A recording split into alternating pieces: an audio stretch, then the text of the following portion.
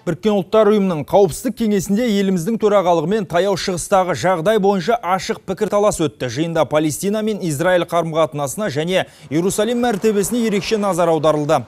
Қазақстанның Біріккен ұлттар ұйымы жанындағы тұрақты өкілі Қайрат Омаров өз сөзінде аталмыш шиеленістің шешілгенін қалайтынын жеткізді.